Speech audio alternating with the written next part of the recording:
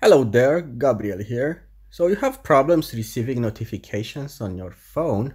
Well, I mean, yeah, this is why you clicked on this video, I guess. Here is how to fix that. Go to settings to your phone, then notifications, then see all. There where it says most recent, you can click all and then go to the application that you want to receive notifications from let's say WhatsApp. Make sure it's enabled here. Where it says chats, make sure the notifications are enabled. And the message notifications are sound or sound and pop up, but never silent. Here you can also set up the in-app notification settings and make sure these are enabled as well.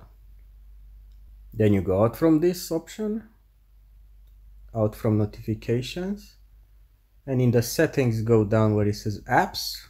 Then on the right side where you see three dots, go on special access, then optimize battery usage, and instead of apps not optimized, select all.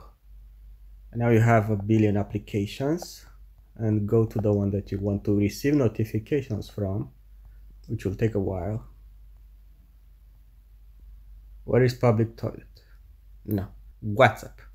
Make sure it's disabled here. This way, when the phone will optimize the battery, will not disable the notifications for the WhatsApp application. So if you did all this and you still don't receive the notifications, make sure that your phone it's not on night mode.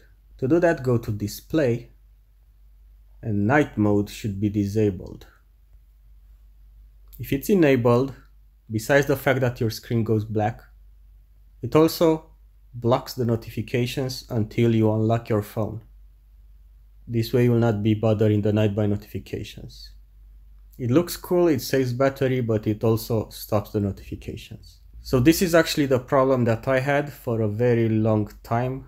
I tried for two weeks all the fixes on YouTube and nobody was telling about this night mode. I even rooted my phone and installed a bunch of applications and nothing worked until I disabled the night mode.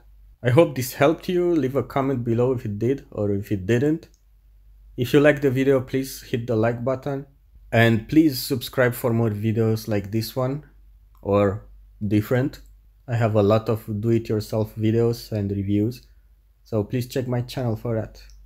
Thank you for watching and see you next time. Bye!